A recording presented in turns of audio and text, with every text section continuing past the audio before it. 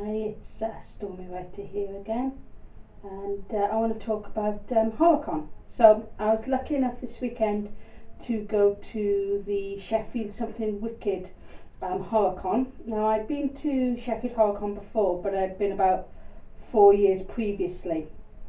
Every year we try to go to some sort of um, con or convention, and I love it. I absolutely love it. But this year, I kind of pushed myself further than I've ever been. So I think horror fans and sometimes sci-fi fans as well, we tend to hold ourselves up in a little world of our own, watching these films or playing these games that you know, and we don't have much contact with the outside world. So these conventions, especially for somebody like me that suffers from social anxiety, can be a little bit scary. It is so worth it. So, what did I do this year? Well, this year I was lucky enough to have my photograph taken with both Dario Argento and Corey Feldman. Why these people? Well, I mean, apart from the obvious, Dario Argento is a, a directing god.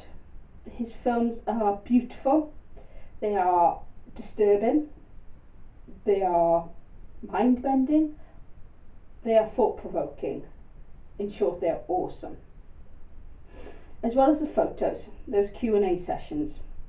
And unfortunately, the Dario one was not brilliant. So the microphones were not working very well, so we could hardly hear what Dario was saying. There was also a lot of language issues. Uh, there was an interpreter there, which meant that sometimes between the question being asked and the answer there was a long pause. Um, and also they had questions from the audience, which was fine, except again they had no what they were calling roving mic, so people were shouting out the questions. It was getting to a point where I didn't know what questions were being asked, and I couldn't hear what the answers were to even guess what the questions were. The room itself was boiling. It was absolutely horrendous. There was um, three lots of stands and one stand was nearly empty, so obviously we headed straight towards that stand, only to discover the direct heat that was on that was just horrendous, uh, which is why hardly anybody was sat there. But even the opposite side, right at the top, it was still sweltering and very uncomfortable. Unfortunately, because it got to the point where I felt like I was going to pass out, I didn't really, couldn't really hear anything that was going on I did kind of cut that Q&A short, which was a real, real disappointment because I would have liked to have actually, you know, found out a little bit more behind why Dario Argento does what he does. One of the few things we did pick up from the conversation was that he wasn't particularly happy with the Suspiria remake, which doesn't come as any great surprise. Now, I am an 80s child. My first introduction to vampires and one of the things that started my lifelong obsession with them was Lost Boys.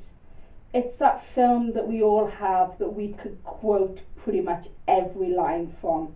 You have the soundtracks, you can sing every song as well. Lost Boys is my film. It's a film I'm not allowed to watch with anybody else because I will literally just sit there and say the whole film, which isn't great entertainment for anybody else, but brilliant for me. So meeting Corey Feldman was just a dream come true. I mean, as well as Lost Boys, because I've been an 80s child, he's The Goonies, he's Stand By Me, one of my favourite Stephen King adaptations. You know, he's Gremlins, he's The Burbs, he's Friday the 13th. You know, there's so many classic films that he's been a part of. And so it was great to actually get to meet him. Very nice, very polite the Q&A was amazing. So whatever issues they had during the Dario Argento one, which had been earlier, they clearly sorted out because Corey Feldman you could hear clearly. And despite there being a lot more people in the room than there had been, it felt a lot cooler in the room. So obviously somebody in the meantime had sorted out the heating issue. Corey Feldman was charming, he was witty, and he was passionate about horror films. He was he knew how to play a crowd, let's put it that way. And it never felt self-centered. You know when some people talk about themselves, which ultimately these Q&As are, they feel a little kind of like me, me, me, me, me. He's very self deprecating and he came across as somebody that's genuinely still looking to find his mojo, which for us, the fans, were like, no, you've already found it, dude, you're, you're fine. But I can understand from an actor's point of view why that's something he always wanted to push.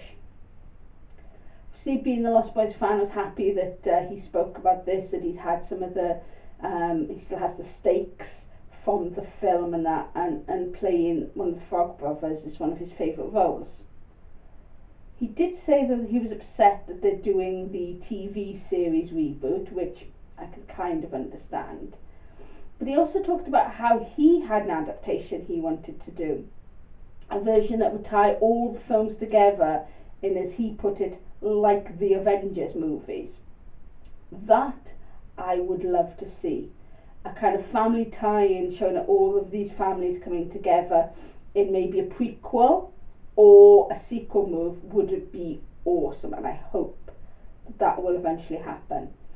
One of the most interesting moments was him talking about a film that very few people in the audience had heard of. It's a film called The Birthday, which only two people at the whole audience seemed to have heard of him talking passionately about that film makes me really, really, really want to see that. So I've been trying to seek that out. Struggling a bit at the moment, which is part of what he said. It, it's clear that marketing is not great. Um, since this is a Spanish-made film, Spanish director, pretty much sta- uh, Spanish cast, filmed in Spain. Corey Feldman being the only non-Spanish person in the film. Um, so you think at least in Europe we'd be able to pick it up, but apparently very, very difficult. So I'm still on the lookout for that. The second day was more a kind of relaxing day. So we went on the Sunday. The only thing we had planned to see was um, Cult screenings, um, extended trailer for the new It documentary. So Cult screenings, they do various documentaries for various horror classics, oh, and I should just say, and classic films in general. Um, the one that I've seen is the Hellraiser one, uh, which is currently on Shudder, and they also do the Fright Night one, um, which is also on Shudder. I haven't got around to actually watching that one yet. Um, why I say films in general, they spoke about other films that they uh, look at doing documentaries about RoboCop and Police Academy being some of them. So they talked about the kind of the it the original mini-series It, the original story of Pennywise the clown, and the, the fact that they've been doing it for seven years, even before the kind of remakes um, were talked about, which is a shame because obviously with a lot of the interviews and stuff like that, there's no mention of the remakes, and it, it would be nice to know what a lot of the original cast think about the remakes. But nevertheless, this is definitely something, again, being an 80s child. I know the miniseries came out in 1990. I was still very much a child at that point. And while Penny, I'm not one of the generations who found Pennywise terrifying. I've ne- I'm not afraid of clowns, never have been. I definitely found the film really, really enjoyable. So this documentary looks amazing, and it even has a lot of the original cast, including thankfully recovering Tim Curry. Um, so they're looking to release that in 2019, so I'll definitely be keeping my eye out for that. Um, one of the big parts though of these horror cons are the stalls. Now, as I mentioned, I suffer from social anxiety, so I'm not very good at talking to people. All my life, I've been told that as a girl, I shouldn't be into horror and I kind of carry that stig- stigma with me wherever I go. So when people actually ask me questions about horror, I'm always a little bit kind of like terrified that I'm like representing all girls in horror, which I'm not. But uh, I'm always a little bit conscious about that, so I tend to retreat into my shell. This year, I made some effort to actually talk to people. And these people, it's a great community. It feels like a family. There's nobody there judging you. There's nobody there going, oh, how can you be into this horror but not that horror? Or, oh, you're only into mainstream stuff or franchise stuff or, or you know, why aren't you into the obscure stuff? Or, oh, God, you're into the obscure stuff, you're a snob, etc., etc., etc. it didn't seem to matter what age, what gender you were, what nationality you were, you know, race, colour, creed, anything like that doesn't matter at these events. And I got to talk to some lovely people. Uh, it was great to kind of see people's passions, whether it was speaking to um, Arrow Video, who were um, telling me about Shock Treatment, which is one of the DVDs I picked up. Big Rocky Horror Picture Show fan, and never quite built up the courage to watch Shock Treatment. But knowing now, it's probably kind of very ahead of its time and very relevant in the sense of how reality TV can corrupt. So that definitely feels very apt at the moment. We were discussing that, and I happened to mention that from another stall, I'd bought Fangs, Egyptian version of Rocky Horror Picture Show. Yeah, these are the obscure stuff that I tend to pick up these sort of things. Um, but there was no judgment. There was kind of this is what you know I think, and I kind of said what I'd seen, and and it was you know great banter. What was lovely as well was I'd been involved in a project um, a little while ago called um, it's a serial killer book, predominantly art relating to serial killers, but I did a poem for it, and I happened to meet two of the other contributors at the HorrorCon, and um, one is NMB Artworks, initials are terrible for me, my dyslexia, um, who I follow and have a lot of his artwork anyway. I have um, one of his t-shirts, I have several of his prints. He's a really talented chap, so go look him out. He does a lot of horror stuff. Um, and I got to speak to him for about 10, 15 minutes, maybe even more. And it was just great just to have a, a, a bit of talk back and forward about you know, what we do and what we're into and all this and that. And also, it's that really, awkward moment where I was walking around and my partner went, oh, look, they're selling your book. And I thought, obviously, as being an author in my own right, I thought, somebody's selling my book without my permission. And then I realised it was this Pizza Eater serial killer book. So I went and spoke to them as well. They also did artwork for it, and that was uh, Twisted Anomaly and they were really really nice as well and we were talking about the the process and what we liked in the book and our favorite bits and all this and that.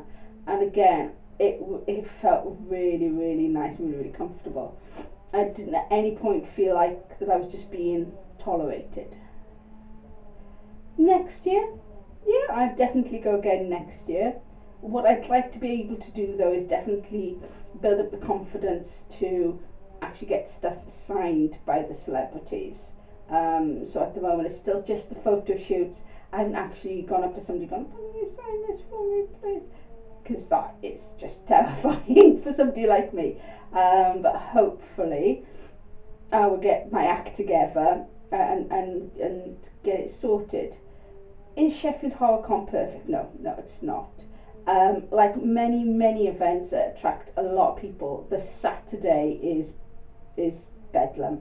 Um, and it's not so much their fault, it's just people are just so inconsiderate that, that they just stop and start talking in the middle of hallways and you're like trying to get past and queues for stuff as well. So both they had a canteen or cafe area and a bar, both were nigh on impossible to get served at. And the bar itself, which was in the main hall, felt like it was really in the wrong place. Obviously, I, I'm not an organiser, don't know what rooms they have, don't know where else they could put it necessarily. Um, also, the queuing for especially Corey Feldman's um, photo shoot because it was literally straight after his Q&A. There were people leaving the Q&A but not going to the photos and there was obviously people leaving and going to the photos and it got quite confusing knowing if there was a queue forming for photo ops where that started were people cutting in were people just trying to get past? So that was a little bit um, complicated. Uh, I did hear though that um, and I was there they, they didn't hang around with the photos. They were both a little bit of a production line and that is do you know what? That is fair enough. Last year like I did London Comic Con and, and I got to meet Meatloaf, which was which again was absolutely amazing. And his photo shoot overrun by an hour because he insisted on spending a couple of minutes talking to everybody, which is lovely for you in that moment, but I can imagine for the organisers it must have been an absolute nightmare, especially for something like London Comic Con, which is a much tighter schedule to, to get things ticking over. Taking all that into consideration over the Sh- Sheffield Horrorcon, I, like I said, I definitely go again next year. I really, really love it, and yeah, that's pretty much all I've got to say for the moment, except I bought lots and lots of stuff that I really, really don't need. Lots of posters, t-shirts, and the obligatory madness of DVDs um, from things like uh, good films, such as God, I've got so many I can't even remember. Things like Gremlins, like Lost Boys, the kind of ones that you'd expect, straight through to some really, really obscure things like Frankenhooker and uh, Shaun Hutson's adaptation of Slugs, which, as a Shaun Hutson fan, who, uh, funny enough, I managed to meet at the very first Sheffield Horror Con that I went to all those years ago. Uh, definitely looking forward to that. So, anyway, that's enough packing on for me, and uh, hope see you again soon.